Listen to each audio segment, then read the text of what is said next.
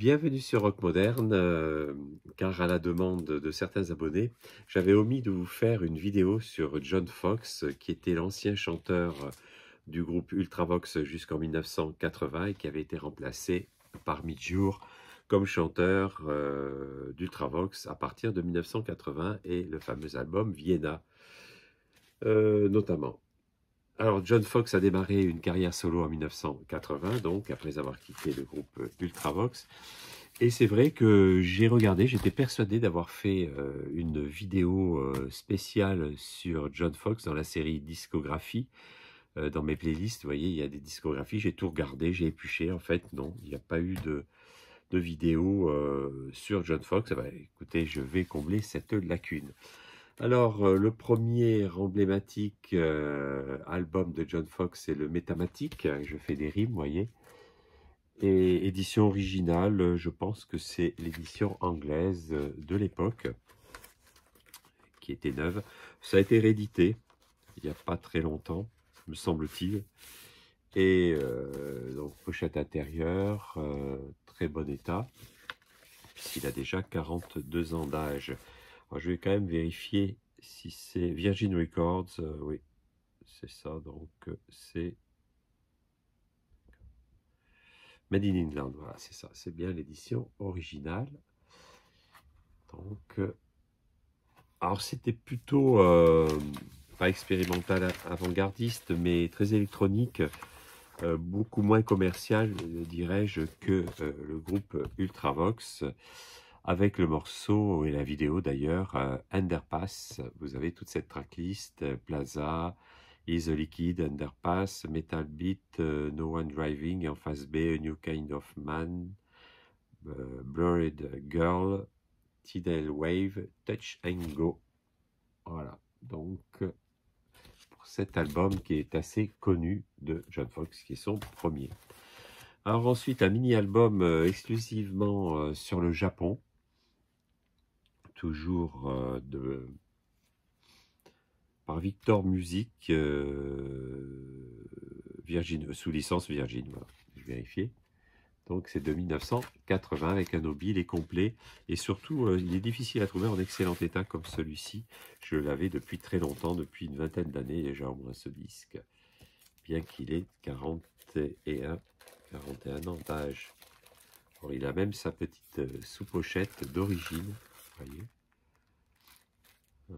à l'époque, c'était assez facile, euh, enfin assez facile, c'était plus facile d'avoir ces disques. Donc, euh, mini-album, six titres avec un liner, puisqu'au Japon, ils appellent ça un liner à l'intérieur.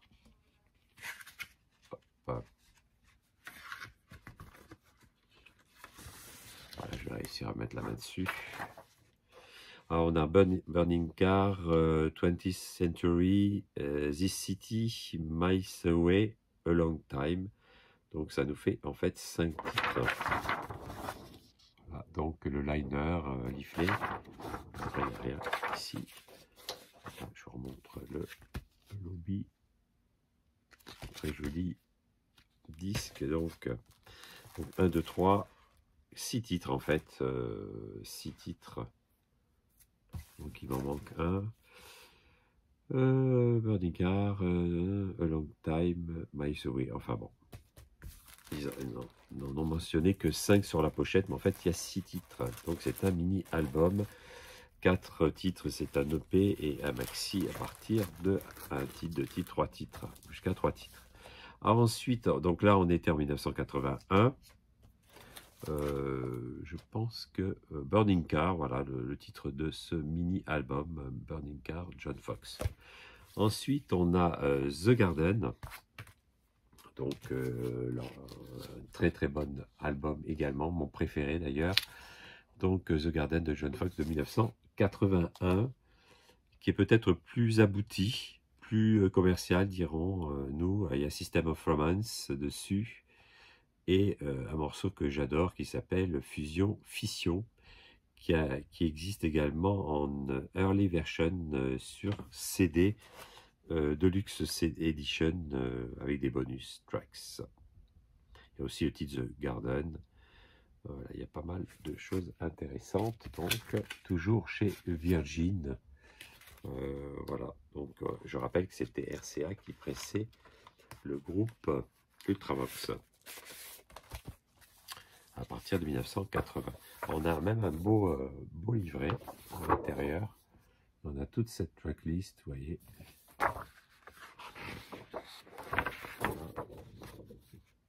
Très joli. Oh, avec les paroles des chansons.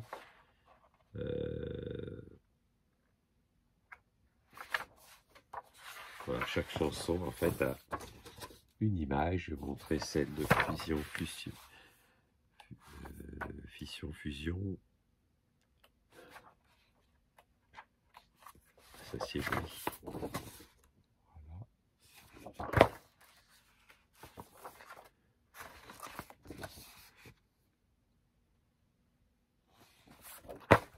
Voilà. John Fox, qui a 11 ans plus que moi, donc quand même, à l'époque, il avait donc 48, 58, 68, 78. Il avait 33 ans, donc. 33 ans. Avec euh, bon. Voilà, et on a ici évidemment le disque chez Virgin, donc édition originale anglaise de 81. Alors, je vous l'avais déjà montré, celui-ci, dans les arrivages de chez Record City du Japon. Le Garden, euh, édition originale, avec son hobby, euh, donc euh, japonais, sous licence Victor, évidemment, je pense. oui, Victor Musical. Industries. Voilà. Donc, sous licence Virgin. de chez Record City, oui, c'est ça, on a bien le, numéro de commande, tout ça, avec le même macaron macaron. Par contre, je pense qu'il n'a pas été... c'était peut-être un oubli de ma part. Je ne l'ai pas, je ne l'ai pas nettoyé celui-ci, mais il était assez propre. Voilà, je vais regarder. il n'a pas été nettoyé. Ben, je vais le mettre euh, à nettoyer. Ben, tiens, c'est pas plus mal. Vous voyez, il y, a des fois des oublis. Euh, voilà, on voit quelques petites traces. voilà, oui. un oubli, je vais le mettre de côté de suite sur la pile des disques qu'il va falloir que je nettoie. Ensuite, on a la réédition. Euh, ça a été réédité il y a quelques années, en 2021. Mais euh, également, ça a été réédité en 2022. Euh, voilà, donc en, forme, en format Getfold, avec on reprend ce qu'il y a à l'intérieur du leaflet de la pochette. donc on reprend un petit peu tout ça. Et c'est une édition couleur que j'avais fait venir à l'époque d'Angleterre, c'était beaucoup plus facile. C'était quand même moins cher, hein, parce que maintenant, vous voyez, à joli vert, euh, c'est du 100, 120 grammes. Parce qu'en 140 grammes, il reste encore assez rigide. Voilà, mais joli vert translucide, euh, avec un joli macaron. Et un excellent pressage, évidemment remasterisé euh, numériquement, puisque je vous dis, il y a eu une version de luxe remasterisée que j'ai en CD d'ailleurs, avec des tas de démos, d'inédits, de live, tout ça assez intéressante. Donc, euh, voilà, je vous en montre vite fait, très beau disque. Alors, euh, euh, Europe After the Rain aussi, il y a le titre, hein, System of Romance, Fusion Fission. Europe After the Rain. Et là, donc, Dancing Like a Gun. Alors, je regarde un petit peu, je vois le euh, euh, euh, ça c'est un maxi. Ah, c'est ça. Europe, voilà. Le maxi Europe After the Rain que j'ai donc en maxi de l'époque. il y a même la sous-pochette encore avec Meninindom. Je garde précieusement ces pochettes, sont assez intéressantes. Et puis j'avais une, une, pochette antistatique alors, on a This Jungle et You Were There, 8 minutes 36 en face, euh, en face B. Et en face 1, on a Europe After the Rain, euh, version 4 minutes, qui est exactement la version de l'album, mais bon, avec deux inédits.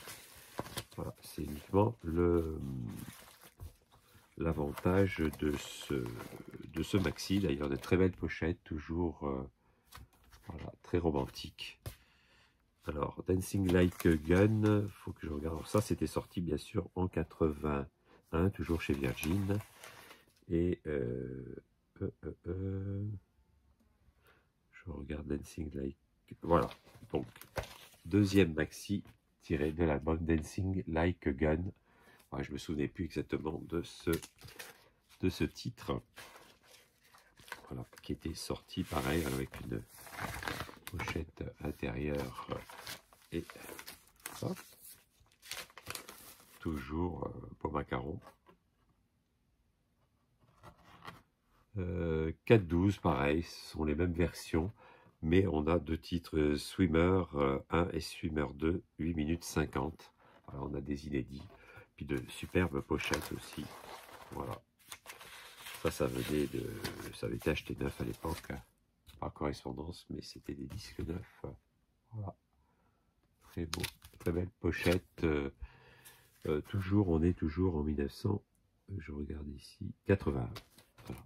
Par la référence, pour voir chronologiquement si on avait une référence euh, VS 459.12, et là on a, on voit, on a, on a, on a, on a, VS, oh il n'y a même plus, VS 459 12 donc.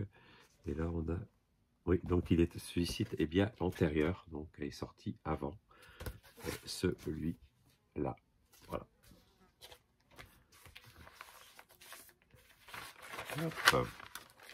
ensuite euh, on va passer à l'autre album donc The Golden Section. Je faire d'abord présenter les albums voilà, The Golden Section qui était sorti en 1983, au début de l'année 1983. Bernard Renoir avait passé ce titre, ce Maxi Leslie qui est assez long. Là, on a une version longue. Je ne souviens plus si c'est la même que celle de l'album. Alors, je vais vous en sortir qu'un. Voilà, le plus neuf. Voilà, j'en avais acheté. J'en avais acheté. Oh, ils sont pareils. Je ne sais pas pourquoi j'avais acheté en double. Euh, parce que peut-être que j'en avais un d'occasion et après j'en avais retrouvé un neuf. Toujours pareil avec la fameuse pochette à port anglais Endlessly avec a Kind of Wave en face B. Mais en face A, on a Endlessly, donc 7 minutes 40, c'est ça, une version 8 minutes qui s'éternise un peu, mais très électronique, très synth pop. Hein. On a glissé de, je dirais, de l'expérimental, un peu avant-gardiste, à de la pure synth pop euh, plus euh, audible, dirons-nous, pour, euh, pour ceux qui préfèrent la synth pop à ce qui est expérimental. Alors, The Golden Section, donc je vous l'ai dit, 83. Alors, je vois qu'on a un autre maxi, on a Your Dress, à mon avis, doit être. Oui, voilà, c'est ça. Alors, on y va. On va présenter le deuxième maxi, aussi de 83, que j'ai aussi en double. Voilà, Your Dress, ici, Your Race, euh, euh, euh, on présenter, ils sont pareils, pareil, pareil, avec une sous-pochette un petit peu différente, plus, ah, toujours mais un petit peu plus, un petit peu plus brillante.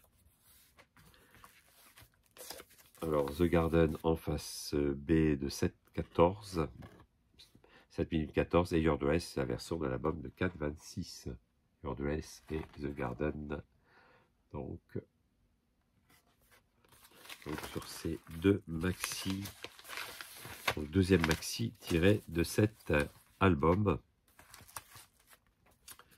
Voilà. Euh, Mysterious Way, je regarde. Voilà, ça, on passe au suivant. Donc c'est ici. Alors voilà l'album, donc euh, The Golden Section, avec tous ces titres, hein, donc Your Dress, euh, Leslie, les deux maxi que je viens de vous présenter.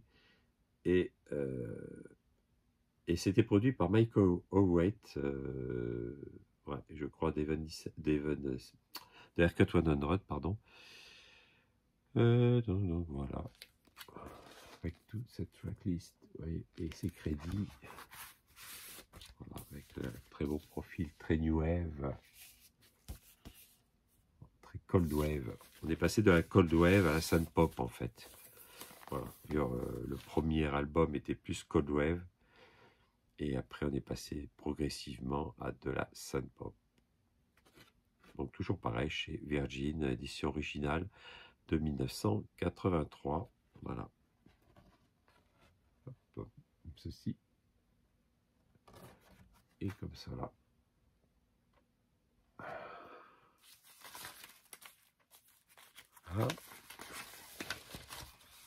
L'album, les deux maxi.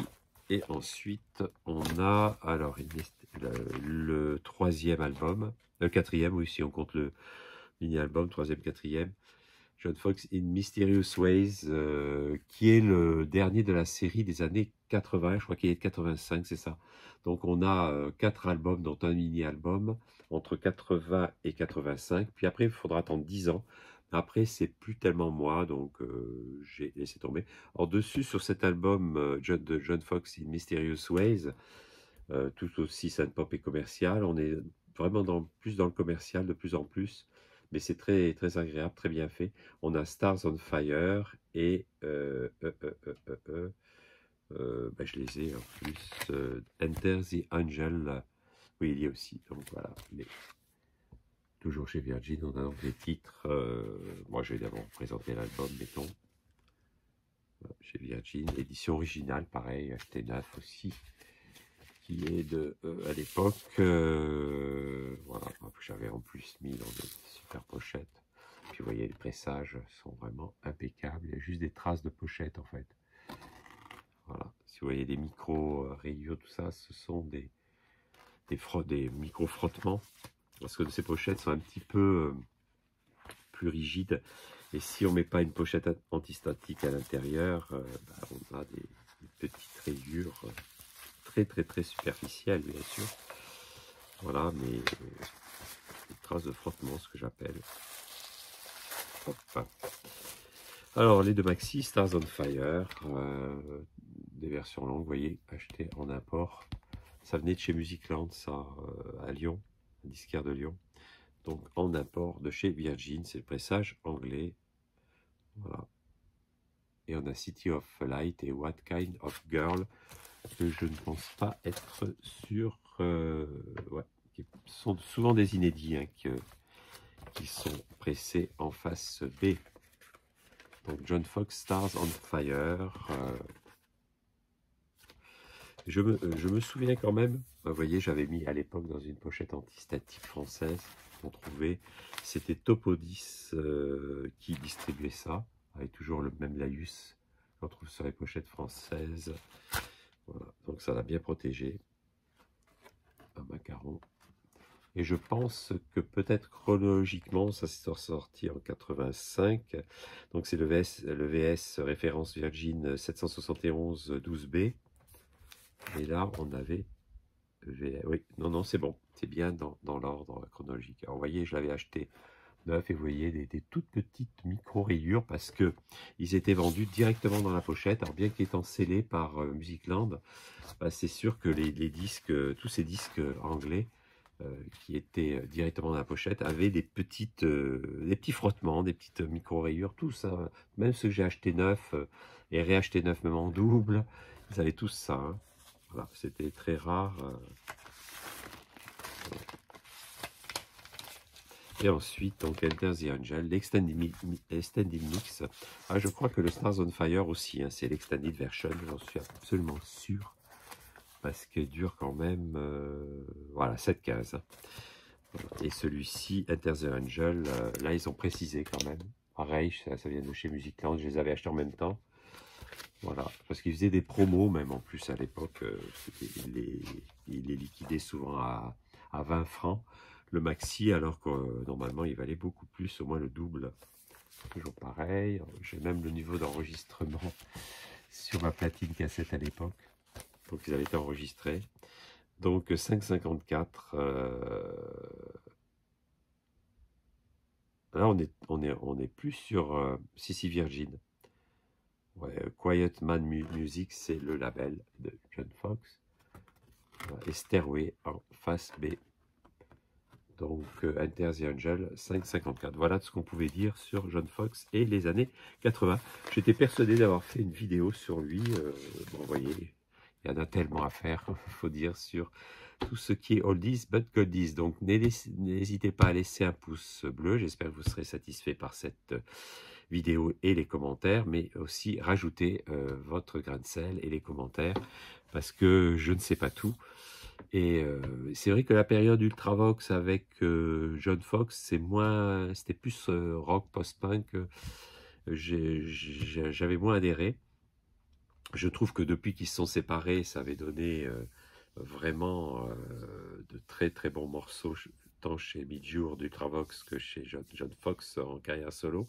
Je trouve que ça s'est amélioré. Un petit peu le la même comparaison avec euh, Human League et la séparation de March euh, et de Phil donc euh, de Human League avec Evan 17, où ils ont sorti vraiment de très bonnes choses après.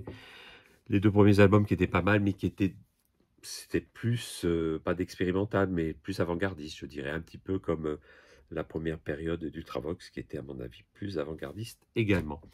Voilà, donc pouce bleu, abonnement, partage euh, et aussi les commentaires. Et à bientôt pour une nouvelle vidéo. Salut